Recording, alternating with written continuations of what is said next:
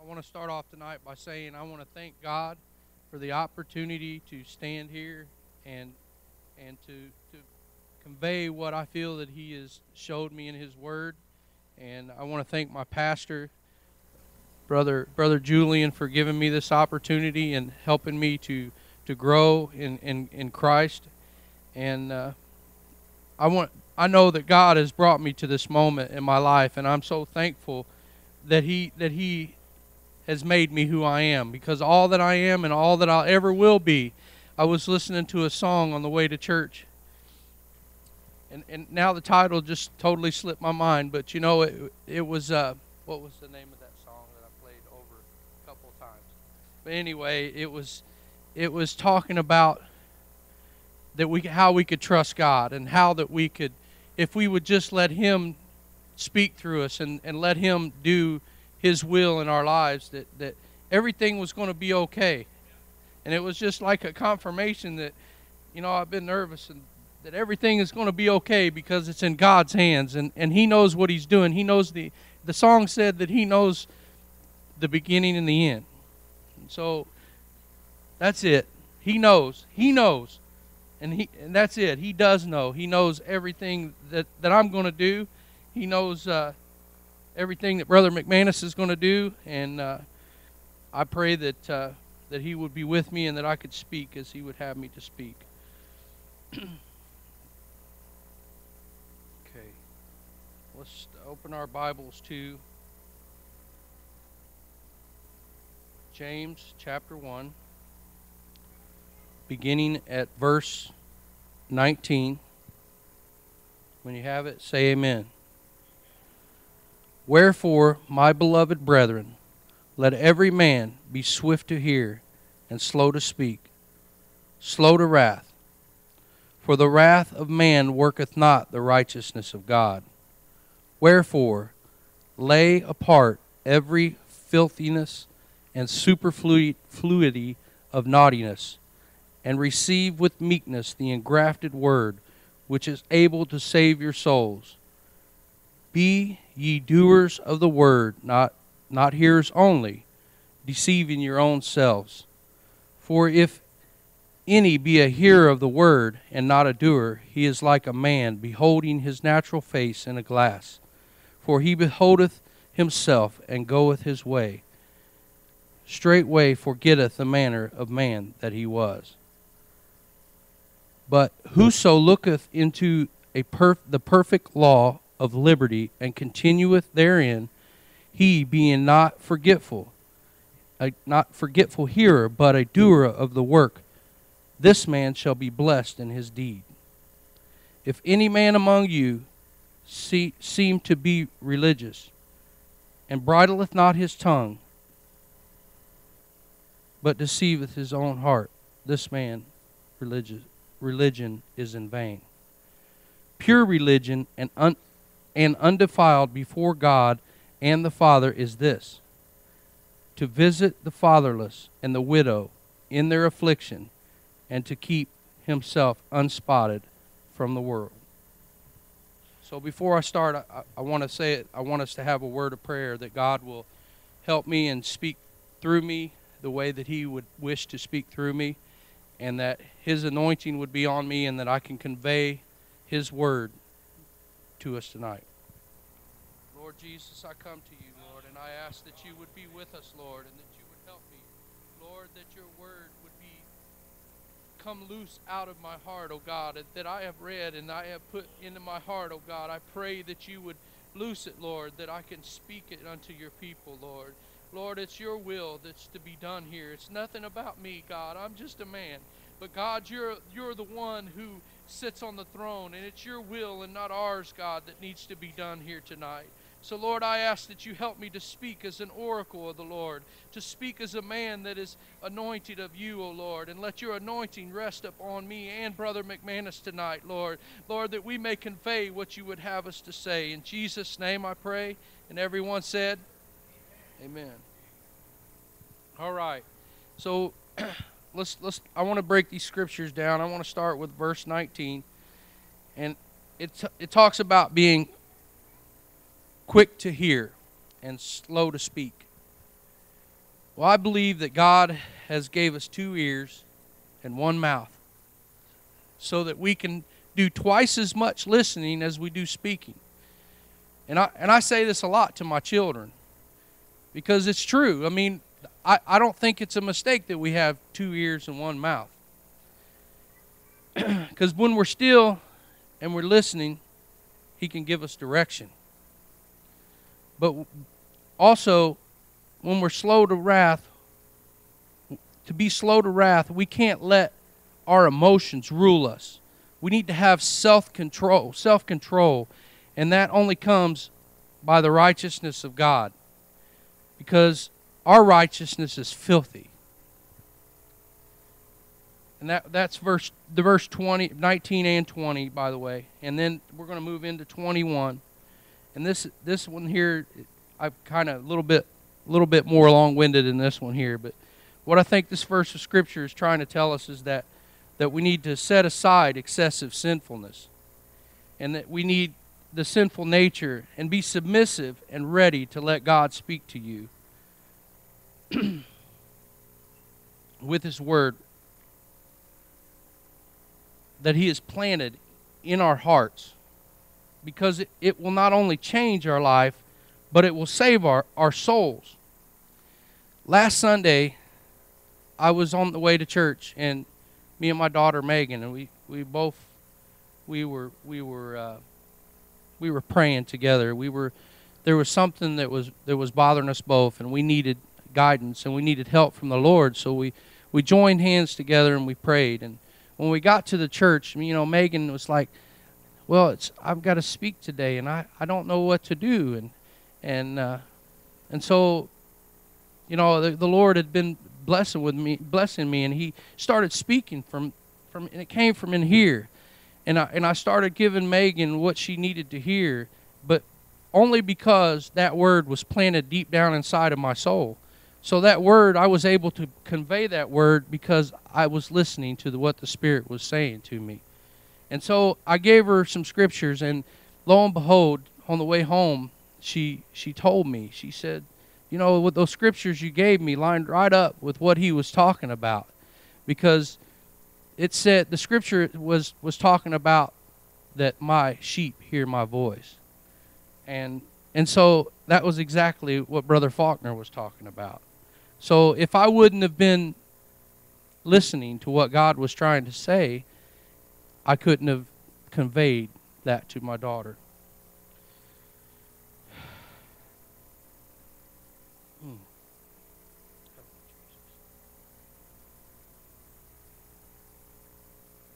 All right, let's go move on. Move on to verse 22. Um, this is this is what I believe this says: is that you must obey what the word of the Lord says and apply it to your life. If not, you're just fooling yourself into thinking that you're okay. I don't want to just fool myself into thinking that I'm okay. I want to do what God wants me to do and be obedient to the to the call of God in my life. So I've got to I've got to just take the word inside of me and let it do what, what it's supposed to do. I'm supposed to let the word change me and mingle with my spirit so that so that it can have an outward appearance the fruit is what the word says that the word of God is quick and powerful and sharper than any two-edged sword. Those those that that word is what we need to get in us not to just not to just think about it, but we got to let it become a part of us.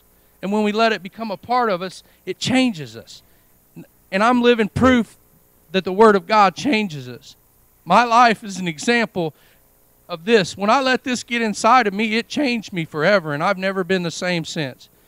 And I'm so glad that I have an opportunity to be changed. I, am so glad that He called my name because I didn't. I could have. I could have died. I would just like the pastor said the other night.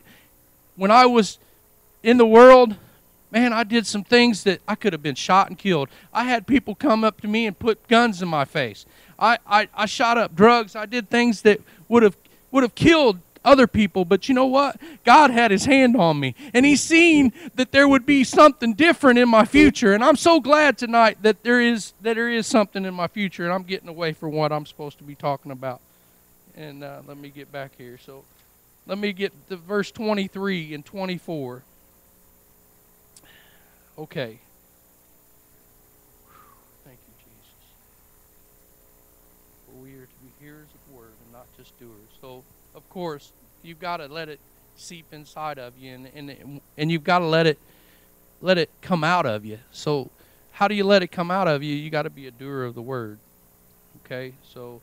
Uh, verse 23 and 24 i answered these together. So we, so you began to listen to god's word but you let the cares this is this is what I feel it's saying but you let the cares of this this life get in the way and all the distractions that that we all have a tendency to do.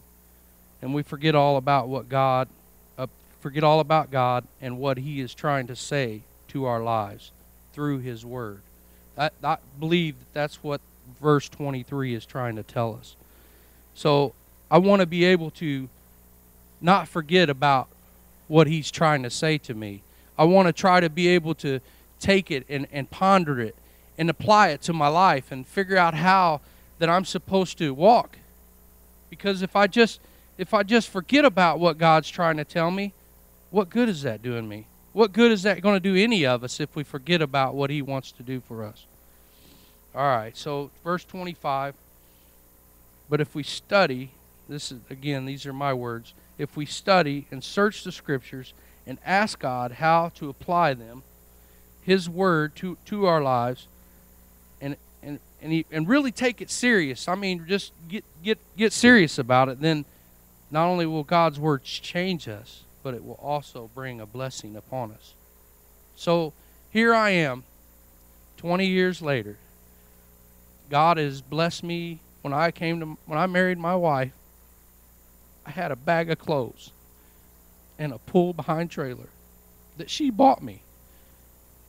I was on the run from the Mexican mafia. My life was a shambles. I had nowhere else to go, and I was facing 30 years in prison. So you tell me, you tell me if if you don't if you'd listen to what God has to say, that he won't pour out his blessings upon you because here I am today. I've owned two businesses. I should have never been where I am today. And God is prospering me beyond what I deserve. I have never been this busy in all my, all my life. I one job after another after another and they just keep coming. And I know that that's God because only good things come from God. And the enemy would try to discourage us and try to tell us that oh, you're not good enough and you're you're not you're not worthy. But you know what? None of us are. But, but you know what? God made us worthy through His righteousness, and I'm thankful for that tonight. Okay.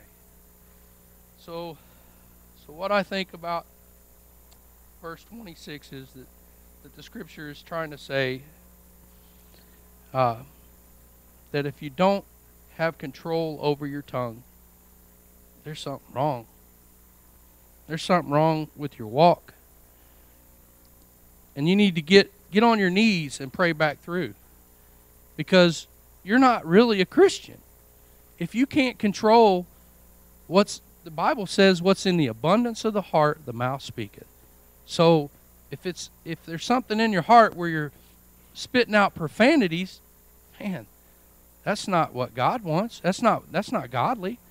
So you've got to you've got to search yourself and look at yourself and and be able to to figure out what it is that's causing this in your life and then get back on your knees right here at the altar and, and ask God to forgive you for it. And He will, He's just. All right. I know I'm, I'm not pretty quick here, but uh, verse 27. We need to care for those in this world who are less fortunate than us. And then that are, and not let the cares of this life and the ways of this world rub off on us and change us and make us into something that God has not made us to be. We don't want we don't want we want to be in the world, of course, the Bible says, but we don't want to be a part of this world. we've got to help those that are in need, the homeless, like like uh, Sister uh, Tommy is doing, and and uh, Sister, I'm sorry, I'm sorry. Anyway, Sister Stacy, um, and and uh, that's a great thing, uh, because we need to give back. We need to give back what God's given us, and that's that's what God wants every one of us to do. He wants us to to be ambassadors, and if we can represent what He wants us to be, and and His Spirit, we show that His love through us because that's that's the whole thing is we need to be full of His love. Because when we can convey that to those that are homeless, those that are left less fortunate, the drug addicts, those that are that are sick and dying in the hospital, or or those that that that need a touch from God just in their everyday life, that we could just be an ambassador to that. I believe that God will will honor that, and we'll see a revival like we've never seen. And uh, but definitely do not let the cares of this life rub off on you. Do not let the bills when the bills come in there that's another song i was listening to and it was talking about uh, all my bills got paid when i called on jesus name. You know what? That's true. So if we don't don't let those things in the world the tv because we can watch I, i'm guilty. I've been guilty of watching things and letting things get inside of my my, my mind that shouldn't be there and, and uh, listening it, it, music especially if whatever we listen to all those things can rub off on us and they can cause us to to fall short and cause us not to do what God's will is for our life. So we got to get on track. That's all I have.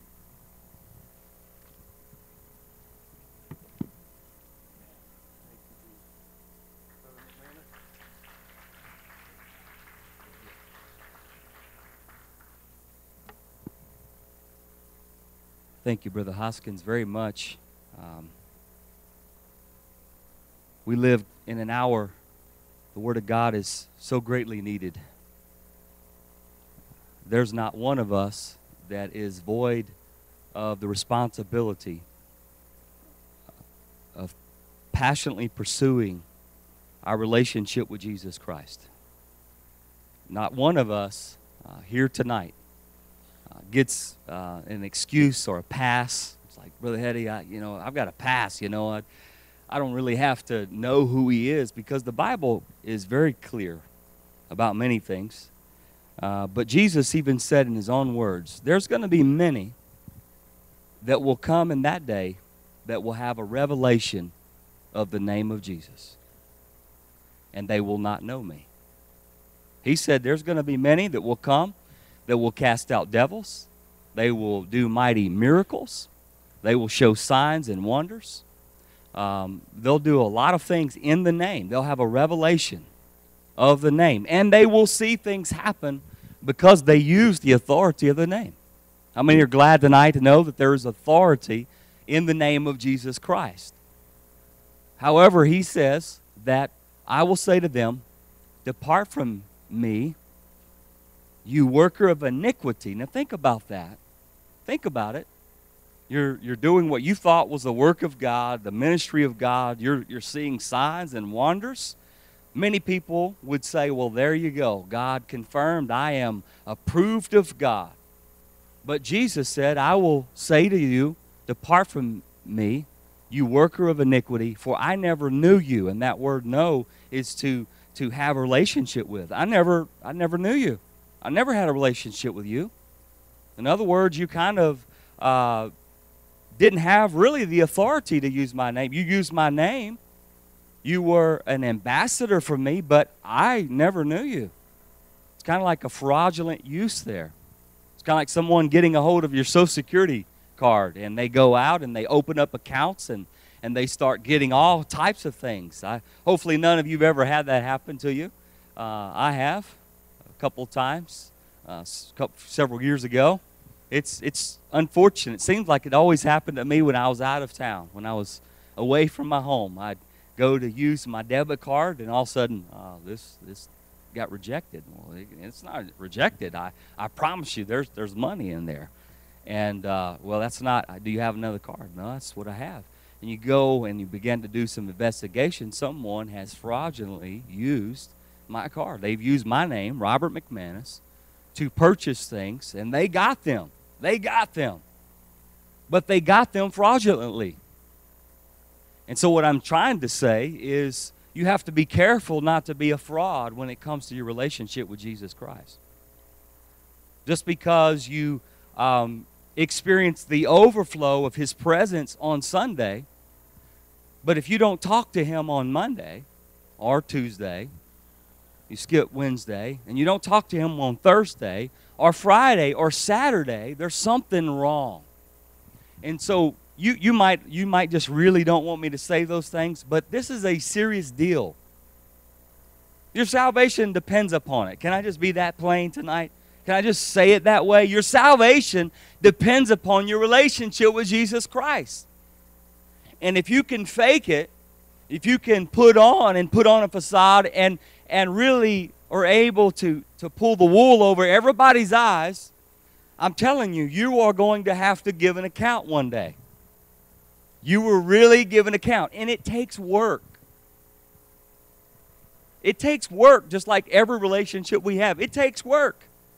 It doesn't accidentally happen. You don't accidentally have conversations.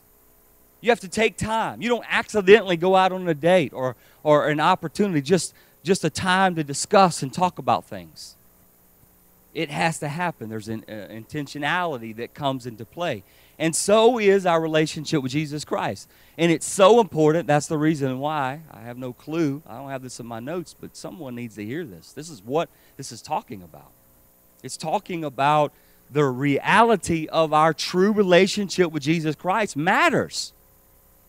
And you can fake it all you want, but God knows where you are. He knows if you're talking to Him on Monday, He knows whether you're talking to Him on Tuesday. You can skip it all you want. You can try to believe that it's something like uh, some people believe, like a car, you know. You put $5 in, that didn't fill your tank up. You could try to go on a, a vacation trip, just put $5, put $10. I never understood that, that concept. Some people do that. They'll put $5 in. Now, I'm not going to ask you tonight if you just put $5 in when you go to the gas station or put $10 in. I've always been one. If I make it to the gas station, I'm gonna I'm gonna put the fuel in the tank because I don't know. I may need a little bit more than what I thought. I might get caught up in traffic, and I don't want to be broke down on the side of the road, Sister Ambrosia. So we, we have to realize that the, the same is true in our, our walk with Jesus Christ. Don't don't five dollar it when you come to church. Oh, that did me in right there. That that filled my tank. Did it? Seriously? That filled your tank? What kind of candy land are you going through? You're not going through the real roads of life because life sometimes can be long. Sometimes there are difficult days. Sometimes we get stuck in places that we didn't intend to. And we got to make it back to the house of God. That's why we got to have a relationship with Jesus Christ. It's extremely important. Now, let me skip around here. I know, I know that uh, this is just just listen to the verses. I'm not asking you to dissect these these verses and and try to make a continuity here. I'm going to make that for you. And so when you see me skip around, you're going to say, "Well, why didn't you just keep going?"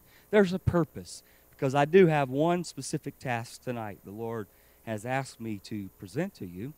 Uh, but before I, I want to be, I want to be um, true to the, the whole context in the passage. We're looking at verses 1 through uh, 18. But I, I want to start with uh, verse 17. Knowing this, every good gift and every perfect gift is from above and cometh down from the Father of lights, with whom is no variableness, neither shadow of turning. Every good gift, every per- perfect gift is from above. It comes from our Father. Now, here's the thing what you call a good gift and what God calls a good gift sometimes is different. What you would call a good gift would mean the easiest road, would mean uh, comfort, would mean uh, you're in control. Uh, would also mean that you, you know all the steps that you're going to be required to go on. That's, to us, that's what we want. We want to know, we want to be in control, we want to tell God He's got to do it this way, and when He doesn't, we're upset with Him. That's, that's our good gift. But when God uh, presents a good gift, it's packaged a little differently. Sometimes you really can miss the great gifts from God. Looking at the circumstances of your life, looking at how it's delivered. You may not like the delivery man sometimes.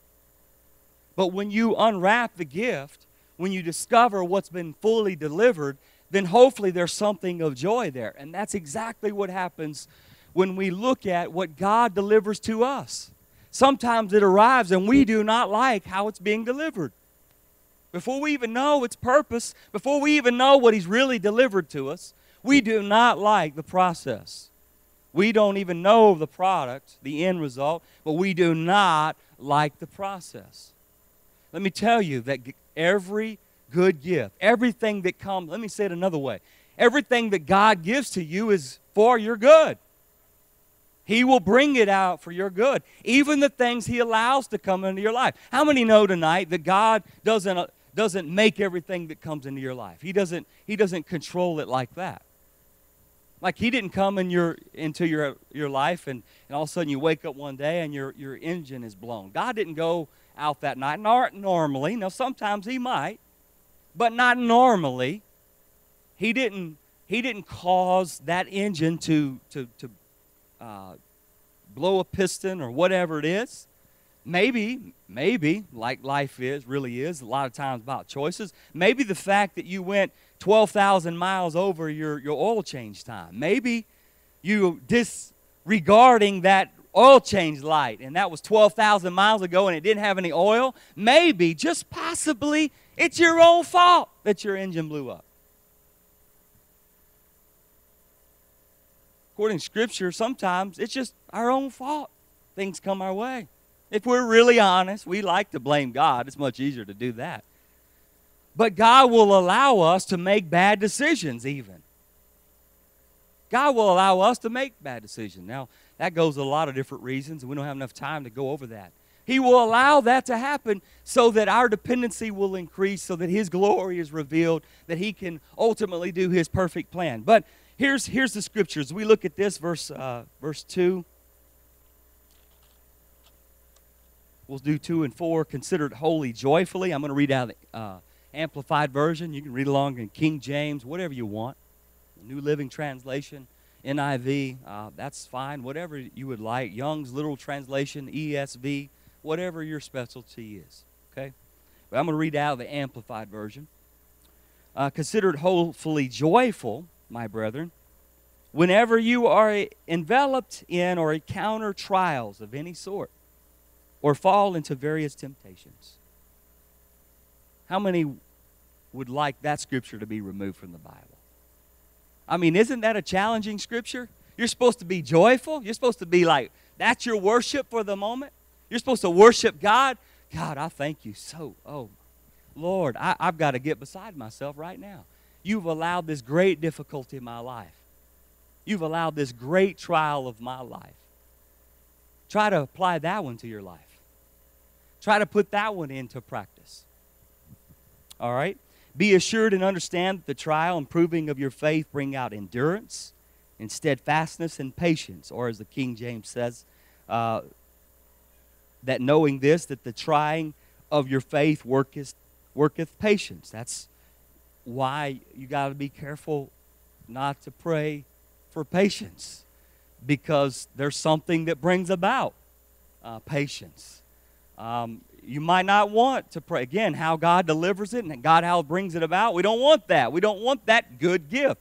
How many know if you had more patience, it'd be a good thing? Anybody want to deny that? It'd be a good thing if we had a little bit more patience. I know it would be for me. It'd be great. But you know what? In order to have that, you got to go through some things. You need a trying of your of your faith. Uh, but let endurance and steadfastness and patience have full play and do a thorough work so that you may be a people perfectly and fully developed with no, no defects, lacking in nothing. In other words, this is part of the good gift God's giving to you. He's calling you to a difficult place, but it's still His gift. Now, but I don't see it, it, but it hasn't been unpackaged yet. He hasn't fully developed it or, or unfolded it to you, but it is a good gift.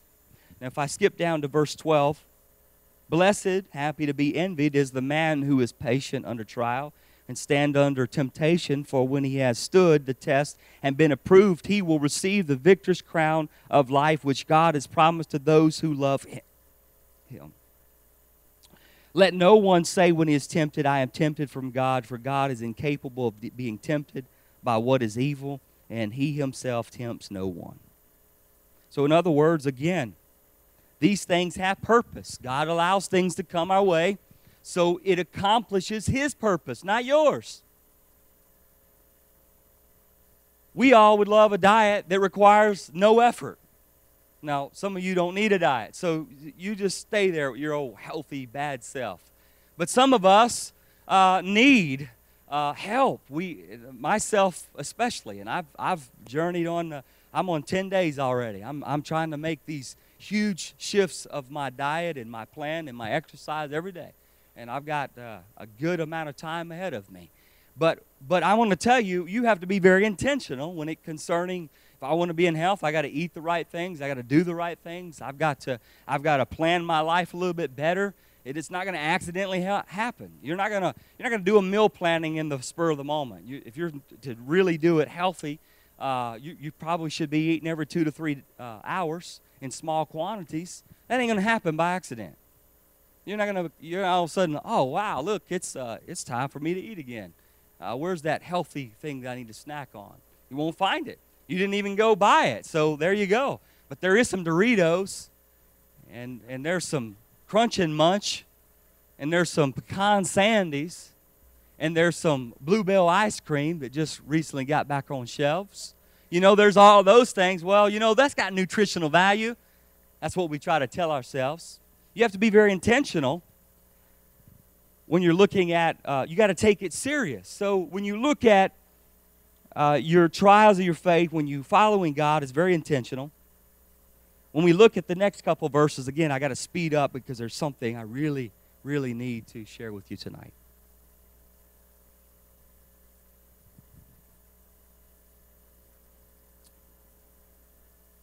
But every man or every person is tempted when he's drawn away, enticed and baited by his own evil desire, his past, uh, his passion, his lust. Then the evil desire, when it has conceived, gives birth to sin.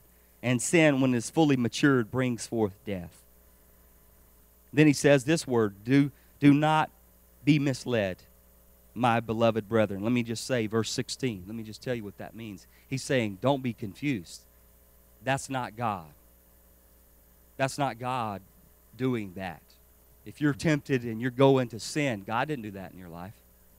No, he's calling it out. He said, don't, don't be confused here. There's a difference between the trial of our faith and the things that we will endure, the afflictions, the difficulties of life, the things that will come our way that God will either allow or it just happens. And, well, he spells it out. We just read it. There's, well, know this there's three types of lust the Bible records there's the lust of, of men, there's the lust of Satan, and there's the lust or the desires of God. Same word, desires, lust, however you want to say it. When you look at it from the biblical standpoint, it's the same, the desires. There's three different categories. The seven steps in temptation are these, and I'm just trying to summarize so I can focus tonight. And I've got a lot of scriptures, but I will not be able to get them all, and that's okay because I have something very serious that I'd like to present to you. And it will be encouraging, by the way. When you look at the seven steps into temptation, first, you're tempted. You begin to have a thought of evil. Number two, you're drawn away. You began to have a strong imagination. That's why the Bible talks about that we are to cast down every imagination, everything that exalts itself against, you know, the things of God, against Jesus Christ. We, we have to be very active in that. We can't allow our imagination to go rampant. Do you know do you know that, that faith and fear take the same amount of energy? Do you know this is like it's scientifically proven? If you need resources, I can direct you. There's great Christians that have proven this. That you have to do the same exact thing. When you go beyond where you are right now and you begin to worry about things, you go outside of the present, you begin to articulate and envision, you begin to put all of these scenarios in your mind that may never happen, by the way. But in your mind, you're just you're formulating these, you're creating these, you're and all of a sudden it comes to pass. Faith is the same way. There's no more evidence in the physical realm. There's no more reason to uh, to have you know fear or to have worry than there is to have faith. There is it's the same logical uh, reason. It's just you get to choose which one you want to apply to your life. And I'll speak more of that in just a moment. So, after there's the drawing away, the strong imagination, verse uh, number three is the lust. It's the delight in viewing. It's, it's that moment, that transition. You go from thinking about it to all of a sudden there's a certain pleasure, whatever that may be. It might even be pain to you, but all of a sudden there's a reason why you want to attach to it whether it's you, you feel a necessity to, to, to kind of uh, want to fight against it, you want to you want to react to it, whatever it may be. There's all all of a sudden there's an acceptance that takes place. And then number four, you're enticed. There's the weakening of the will. Your your will is now weakened. You've been thinking about it. Now there's pleasure. Now your will is weakened. Oh, I've been thinking about that Blue Bell ice cream. I'm going down the aisle I'm so hungry, I haven't ate all day. I haven't been intentional in my diet. You know, I should go down that other aisle, but I got to go down this one. And all of a sudden, it must be God. There's the Blue Bell ice cream. It's God's will. It's right there. I mean, God surely wouldn't have put it before me. And you know how hungry I am. And you know I need it at this moment. If I don't eat this Blue Bell ice cream, see, you begin to rationalize it. You've never done that, of course, but it can happen. Number five, lust conceive. You begin to yield to it. Number six, you sin. The act is committed. The sinful act is committed. And then seven, death. It's the result of the actual sin. That's the seven, seven steps in temptation. Okay? So we're to summarize, we're not to be confused when these things were drawn away by our own desires and our own wishes. That's not to be confused with the desires that God wants you to have. You're supposed to be led by God. The Bible is very clear. Uh, in fact, let me uh, read here, if I can. I've read this before, probably, uh, before you. I know I've read it many times in my own personal study. I've read it, who knows, hundreds of times, if not thousands of times. I have, I have processed this uh, particular verse. So it's not like something I'm giving to you. I've never, wow, I've never thought about that uh, Romans 8 6. For the mind of the flesh, which is sense and reason without the Holy Spirit, is death. Again, this is amplified. Death that comprises of all the miseries arising from sin, both here and hereafter. But the mind of the Holy Spirit is life and soul peace, both now and forever. In other words, you have a choice every day. Well, I've served God for 20 years. Okay, that's great. That's wonderful. But you're going to realize to be like Paul, to put everything behind you, count it as lost. You've not crossed the finish line. You got to continue pressing towards the mark of the high calling, the prize that's set before us. You got to keep pressing. And you might have felt miserably yesterday or today. You have made major mistakes. You got to put that behind you. None of that matters now. None of it, good or bad. Do you know, not know that that was the sin, part of the sin in the, Bible, in the first sin in the Bible? The disobedience of God's word, of course. But they ate from the tree of knowledge of good and evil, not just evil. It was the knowledge of good. What is good? See, we all struggle with, oh, I think that's good. We want to be enticed by our own flesh, what we think is right. Be careful be careful, don't have enough time to talk about it, but be careful when you begin to say, Well, I don't feel that way. What does the Word of God say about it? Be careful. Well, I don't see it that way. Be careful. because it's not about what you see. God is a he's a sovereign judge. He is a great God. He's an amazing God. There's no point in your life that he is ever in darkness. I love, I find comfort in that. I find great comfort in that, that he is light. The Bible is very clear. When you read the end book in Revelations, that, that God alone is the light. There's no, no more need for the sun or the moon. God is light. And it goes on to tell us who God is in his fullness because it says the Lamb is the light. The Lamb is the one that sits upon the, the throne, one throne. How many know tonight who that Lamb is? That, that is, you know, Jesus Christ. John said, Behold, the Lamb of God. Only God can be the root and the offspring. Only God can be the sacrifice and the high priest that accepts it. Only God can be those things. And we could go on and on. So we understand that we have to choose each and every day. Will I choose? Will I choose life, which is the mind of the Spirit, or will I choose death? Now, here's the easy way, real easy way, and I got to go on and finish up here. You can figure out if you're operating in the mind of the Spirit or mind of the flesh. Real easy, real easy. It's, it says it in Scripture. Mind of the flesh is death. So if you're if you realize and begin to realize that your joy is being depleted, if it's dying, if your peace is dying, you're not feeling, because you know peace really comes from the Lord, according to scriptures. According to the scriptures, real joy comes from the Lord. It is, it is the joy of the Lord that is our, our strength. When you begin to notice the things of God no longer around, you might want to take, take a spiritual check. Say, wait a minute, wait a minute, what am I thinking here? Because I know in my personal life, the moment if my mind begins to operate in the, the mind of the flesh, all of a sudden I don't have the peace that I had. But the moment I say, you know what, wait a minute, God, I'm sorry.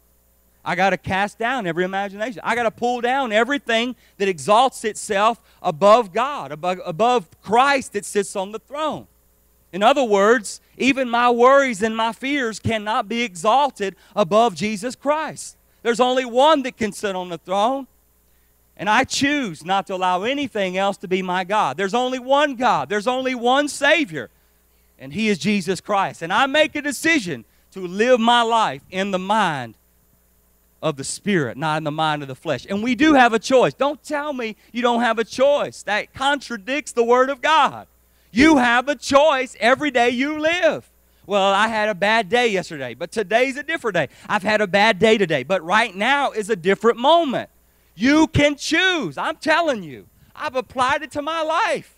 You get in your prayer closet. That might be going down the road. That might be like, I got to take a bathroom break. All of a sudden, you're getting a hold of God travailing. Wherever that may be, whatever you got to do, it's that important. You got to get your mind in the, in the mind of the Spirit. It is that important because life, when you have the mind of the Spirit, all of a sudden you have peace, you have joy, you have the things of God. And it is important because if you're going to live when He returns, you got to have the mind of the Spirit. You have to have the mind of the Spirit. Now, here is something I want to leave with you tonight. And this is what uh, I feel strongly as I ask God, okay, what, what would be the most important thing? And here it is. I want you to notice verse 5, starting with verse 5. If any of you is deficient in wisdom, let him ask of the giving God who gives to everyone liberally, ungrudgingly, without reproaching or fault finding, and it will be given him. So, in other words, there's no excuse. If you don't have wisdom to deal with the situations in your life, the trials in your life, the affliction in your life, ask God how to deal with it. Ask God what you're supposed to do. Ask God why He allowed it to come into your life. And then, once you know why He allowed it to come in your life, to say that it, He didn't allow it is to say that God's not sovereign because He knows all things. He sees all things happening, even though He doesn't, he doesn't necessarily is the one that, that brings them to pass. He allows things to come into our lives. Why did you allow it? And then once you understand why He allowed it, you got to ask, what is the purpose? So that it can be lived out in my life. I know that sounds like the same, but there's a difference. Because you got to begin to pray and ask, what is the perfect will of God? for my life. I got to know, God. I don't want just things come my way. Do you want to go through hardships just to have a hard time?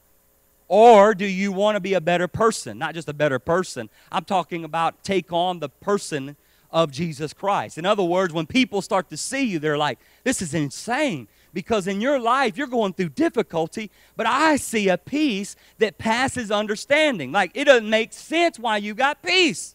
How do you have peace in the middle of your trial? I'll tell you why. Because the Lord is the one that gives me strength. The Lord is the one that I place my trust in. I don't place my trust in the things of this world and the system of this world. I don't place my trust in my flesh. I don't look at the things he challenges with me in my own spirit where he's trying to lead me. You can look at that and say, oh, no, that ain't going to happen. No way. You can really shut down God and God saying, what are you doing? It's all about me. Ask God. That's what he's saying. Ask God and he will give it to you without reservation. This is not just, just a Mormon passage where Joseph Smith is praying this James 1 5, and then he sees a vision of, of the Father and the Son and the Holy Spirit, sees a Trinity, which is not according to Scripture. That alone should tell you they're not in the true book. This is not, this is not just a candy stick scripture for, for LDS. This is, this is the Word of God. This is one you should be applying to your life, saying, God, give me wisdom, give me understanding. The Bible tells us that the, the fear of the Lord is the beginning of knowledge but fools despise wisdom and instruction. That's what the Bible says. So as we look at verse 6, only it must be in faith. I want you to notice this. This is the core of everything. If you ask of God, it has to be in faith. It has to be in faith, and there's a reason. I'm going to show you here in just a second.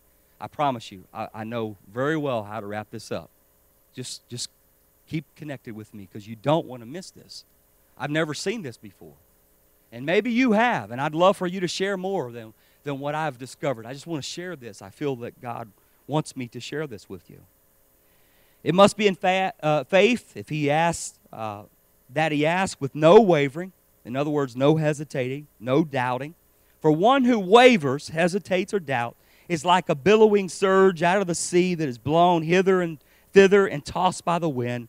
For truly, let no such person imagine that he will receive anything he asks from the Lord. For, being as he is a man of two minds, or a double minded man, hesitating, dubious, he is unstable and unreliable and uncertain about everything he thinks, feels, or decides. Did you catch that?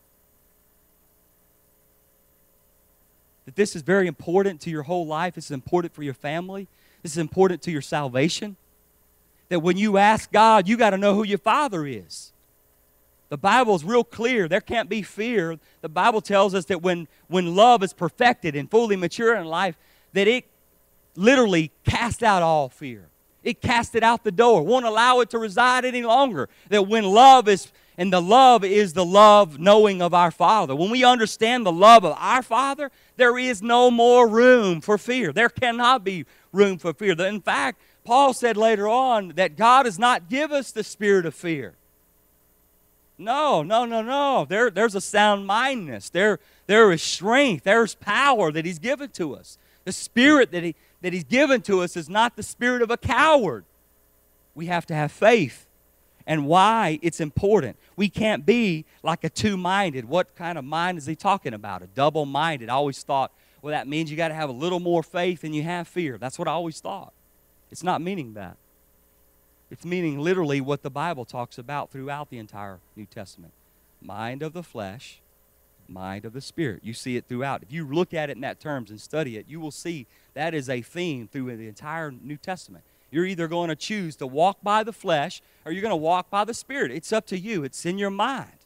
And it's talking about a man that's wrestling with the flesh, what you see and feel, without the Holy Spirit giving you direction, and one that's seeing the things that God is speaking in your life, asking you to, to pursue those and to walk by them. So, in other words, we have, it's extremely important. I cannot tell you uh, with enough urgency tonight to walk your life with faith. I've got many things I would love to share with you.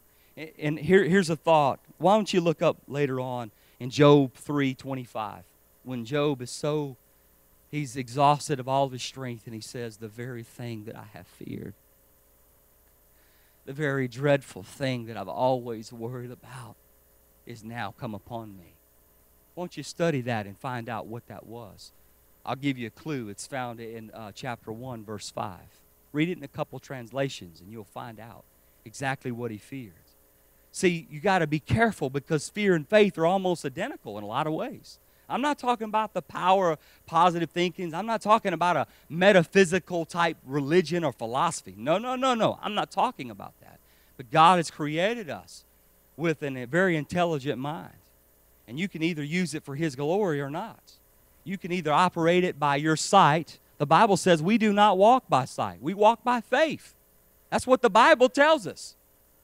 Here's the reason why it's important. We know the scriptures when we read, and you can read this later in Revelation chapter 10, read um, verses 9 and, t- uh, 9 and 10. We understand that the devil's cast down, and we see that salvation has come. It's come. There was rejoicing in heaven, but they overcame the devil by the blood of the Lamb and the word of their testimony, and also they weren't conformed to this world. We know that rejoicing. But can I direct you an end tonight? And again, this is so important. I cannot I cannot put enough emphasis on it. I'd like to direct your attention uh, to uh, Revelation chapter uh, 21. Mine's going blank, so I just have to use my memory.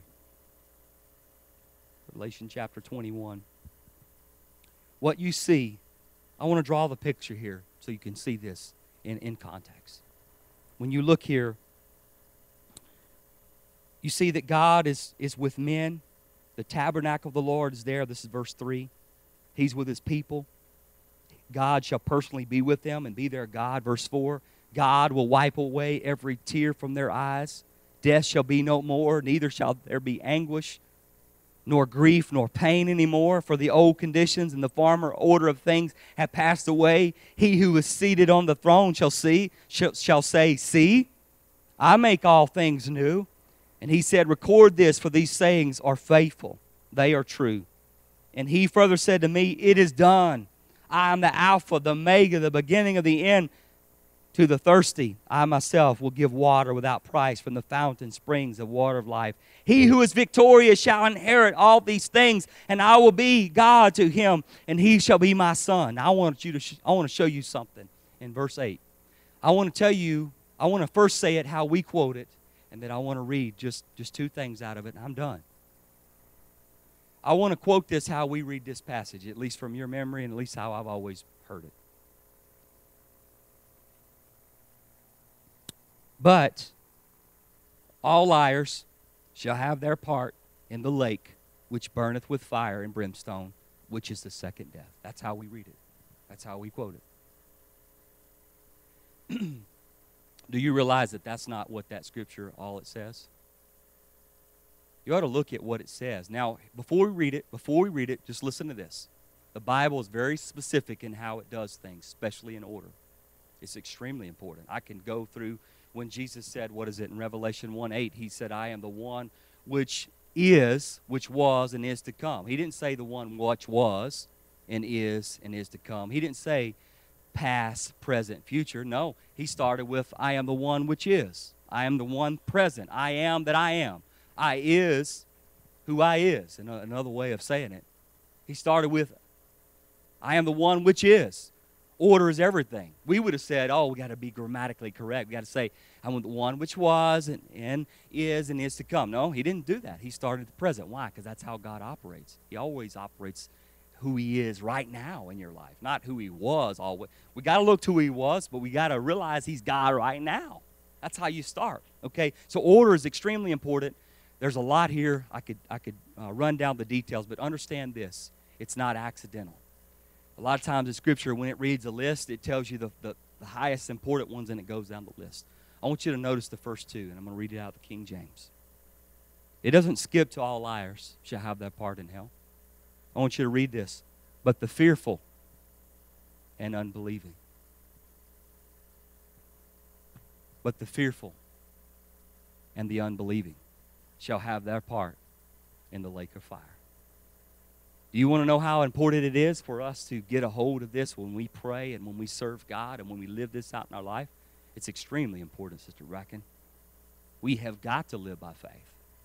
We have got to trust God. We, there is no option here. Do you realize, as a child of God, I know there can be children, but do you realize that uh, not all children are obedient? There is what's called a rebellious child. And on that day, the Bible is very clear that He's going to sort through that. Not everybody is a sheep, Brother Shannon. The Bible says that He's going to put the goats on the left hand and the sheep on the right hand. It's extremely important that we have to be a believing people. We've got to be a trusting people, that when we pray, we're not wavering. We're not trying to pray with the mind of our flesh, our, our senses, our reason, our intellect, our logic. We can't pray that way. We cannot be double minded, two minded. The, the Greek is literally two souled.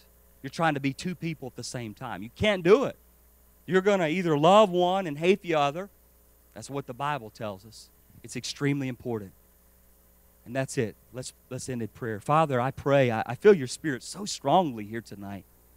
And I know your word is forever settled and, and it's so applicable to our life. And God, you know what we need to hear. And I thank you so greatly for allowing us to, to talk about your word and to, to really get into the, the scriptures because they are life and they are our hope. And this is what we draw our strength from, God. We don't rely upon our, our feelings and our, our just our emotions to be to be stirred. God, we really want the word of God to be lived out in our lives. Go with us tonight. Let your blessing be upon your people. Let us really be bold in our prayers and have faith like we never have before. And if anyone is wavering in their faith tonight, God, I'm asking to give them a special strength, Lord. I'm asking you to give somebody tonight a boldness that maybe they've never had before in their prayers. To stop worrying about what this is that's so big and, and they can't understand it, they can't process it. They're trying to approach it in their, their, their mind of their flesh. They're trying to approach it with logic and their feelings. But God, you're bigger than that. Help them to realize to pray in the mind of the Spirit. Because God, you are a mighty God and you have not changed. And you are a miraculous God, and that we rely upon. You are sovereign and you are not a respecter of persons. God, we acknowledge you in this place. Go with us tonight. God, go in our homes. Bless our homes. Let us draw closer together as we draw closer to you. We ask this in your own name, and we give you honor and glory in the name of Jesus Christ. And everyone said, Amen. Uh, God bless you tonight. God bless you. You may be dismissed.